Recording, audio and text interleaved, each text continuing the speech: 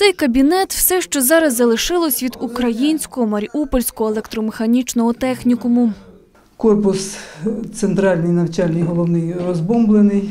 От вони займаються в лабораторному, якому кажуть, там вікон немає і теж намагаються їх вставити. Сьогодні Маріупольський електромеханічний технікум переселенець, а розмістили навчальний заклад на території коледжу Тернопільського технічного університету.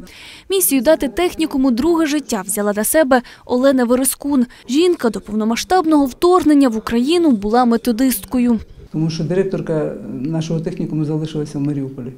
Ми нічого не знали про це на той момент, коли я розпочинала цю процедуру перереєстрації в Тернополі. Це було ну, під гаслом, що ми почнемо переносити наш е, навчальний заклад, щоб його врятувати, а потім підтягнуться керівники, але вийшло так, що не підтягнулося. По чутках сама директорка Маріупольського технікуму зараз співпрацює з ДНР. Ну, у нас всіх є клони, тобто там, на тій території. Тобто, е, той навчальний заклад відкрився, у них розпочалися 15 вересня заняття. У Маріупольському електромеханічному технікумі навчалося понад 600 студентів та працювали півсотні викладачів. Зараз навчальному закладу керівник Тернопільського технічного університету виділив для роботи приміщення, а навчання тут онлайн.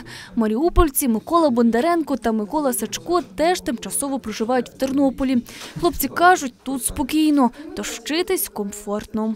То все одно працюємо, ну, спілкуємося з вчителями.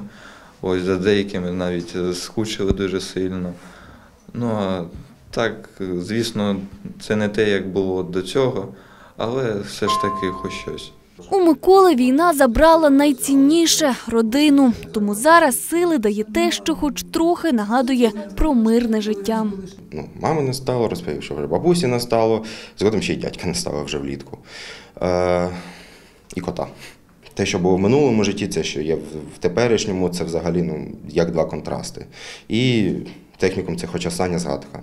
Хлопці показали нам відео та фото зі свого щасливого і мирного студентського життя. Розповіли про одногрупників. Студенти щиро вірять, що зовсім скоро повернуться до рідного, вільного українського Маріуполя.